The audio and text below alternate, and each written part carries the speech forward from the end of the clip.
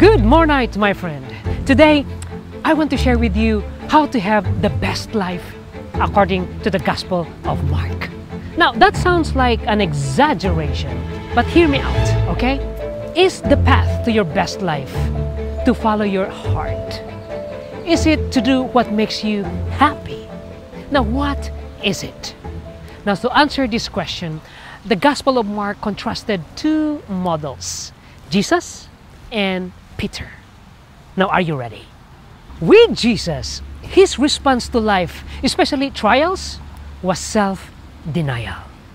Self denial without any concern for self preservation. Now, this has been his approach since birth. Now, let's jump to a period in his life where he is facing all the leaders who want him dead. Mark 14 53 says, And they led Jesus to the high priest, and all the chief priests, and all the elders, and all the scribes came together. Now, the word all highlights Jesus being surrounded by all his enemies, and he is utterly alone. If you follow Jesus, there will be times when you will be alone. For example, you might be the only Christian at your school or at work. I remember when I was young, and, and one of the only few followers of Jesus at school. I was tempted to hide I was a follower of Jesus. For example, I pretended to drop something on the ground to hide that I was praying for my lunch.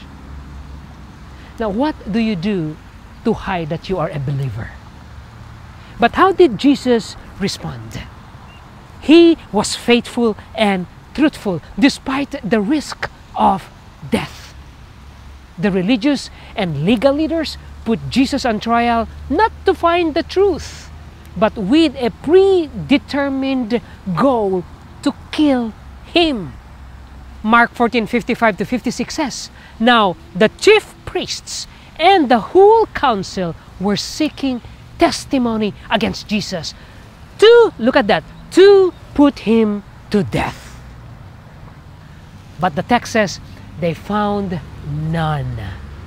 For many bore false witness against him, but their testimony did not agree. Despite the accusations being false, the judge, the jury, and the witnesses are biased. They are out to destroy Jesus. Have you been a victim of false accusations? Did people, including fellow Christians, lie against you? It's one of the most painful experiences you could go through. And I won't blame you if you are tempted to be angry, to retaliate, to hate. But it's not the path Jesus took. Now, what's the false accusation against Jesus? Mark 14, 57 to 58 says, And some stood up and bore false witness against him, saying, We heard him say, I will destroy this temple that is made with hands. And in three days I will build another not made with hands. Uh, you know, Jesus indeed said this, but the temple he is referring to is not the Jewish temple, but his own body. So he was accused falsely. Now, after being silent to two sets of accusations, Jesus, in the third round, finally answered when the high priest asked him if he was the Messiah. Mark 14 61 and 62 says, Again, the high priest asked him, Are you the Christ, the Son of the Blessed? And Jesus said, I am. Wow! No hesitation, no holding back. Without faltering, he acknowledged that he was both God and Messiah without regard for his safety. Of course, this resulted in him losing his life. But, but the paradox is, he gained back his life, and an exalted life at that. Not only that, he gave life to many. You see, Jesus is showing us what it means to follow God self denial, not self preservation. Self denial, not preservation. My friend, not only did Jesus die because he loves you, but he's showing you how to truly live. Now, see, for example, Mark 10 29 to 30. Jesus said, Truly I say to you, there is no one who has left or deny house or brothers or sisters or mother or father or children or land for my sake, for my sake and for the gospel, who will not receive a hundredfold. Now in this time houses and brothers and sisters and mothers and children and lands with persecutions and in the age to come eternal life. In short, it's not following your heart, but following God's heart. It's not following your dreams, but God's dream. Now, how about Peter? Now, this leads us to the second point. Peter too was on trial. His response? His only concern was self preservation. Self preservation. That's why he was untruthful and unfaithful. Now let's go back to the story of when Jesus was arrested. Mark 14:54 says, "And Peter had followed him." Wow, he was a follower of Jesus. But but he followed him at a distance. That's incomplete. He only followed Jesus as far as the text says the courtyard of the high priest. That's it, no further. He is unwilling to share the sufferings of his master. Now back in Mark 3:14, Jesus appointed 12 whom he also named apostles so that they might look at the text, they might be with him. With him. But here in our passage, he was with the guards, not with him, but with the guards, and warming himself at the fire. He prefers his comfort rather than his calling. Self denial is not on his agenda. If God calls you to do something which won't be pleasant at the beginning, but ultimately ends for your good and for God's glory, how ready are you to leave the warmth of your comfort zone?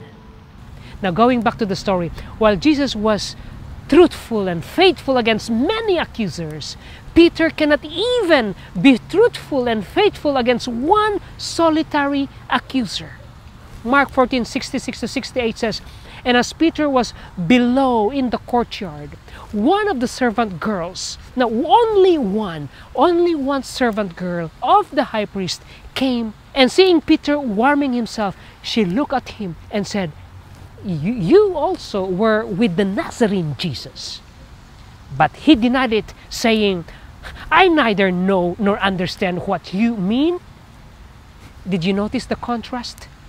Jesus stood strong before a slew of gangsters, but Peter shook like a leaf before a lone servant girl. Now, why was Peter unfaithful and deceitful?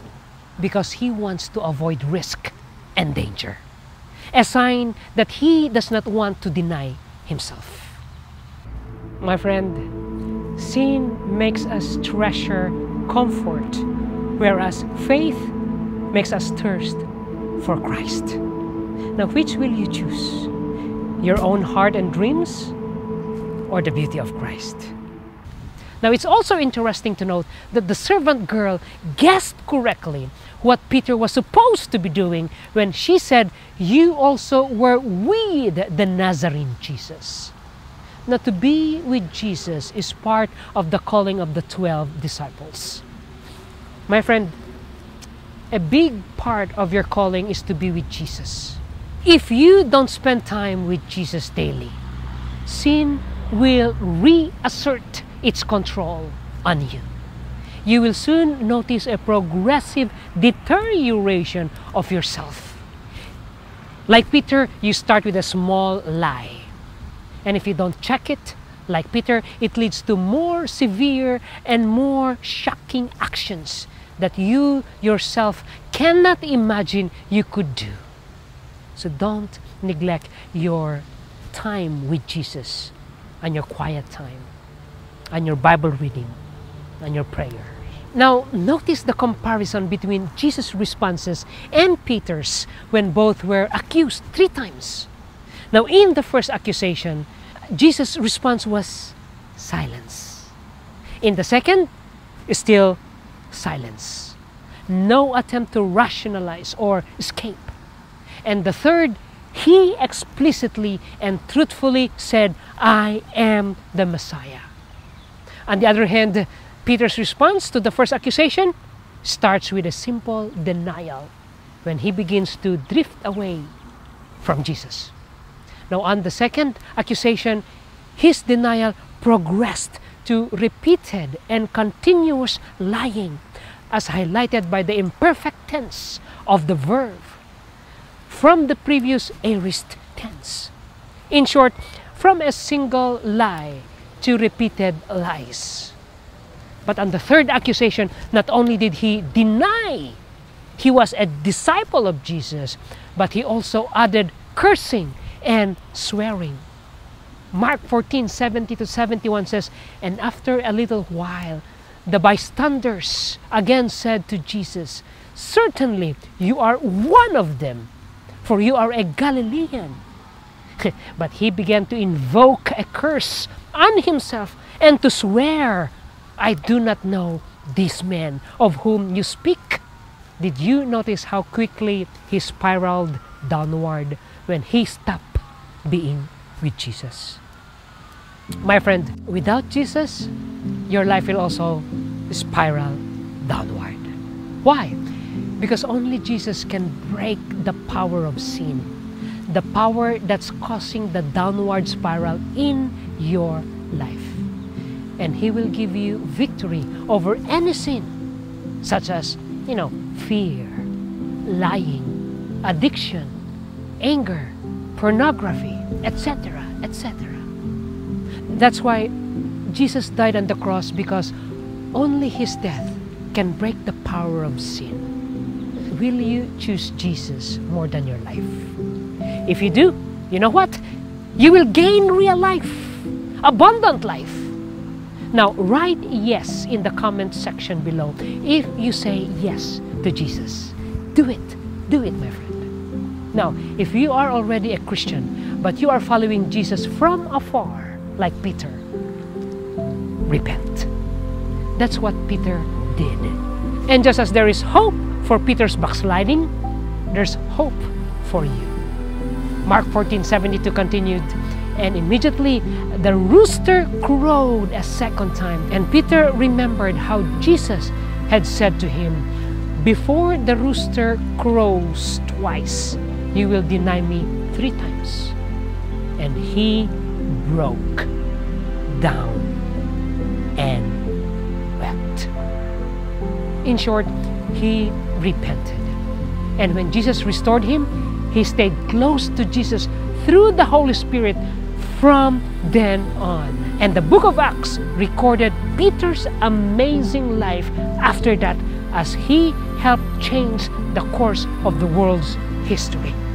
How? By not following his own heart and dreams anymore, but that of God's heart and dreams. Self denial, not self preservation. Would you try God's path? to the best life.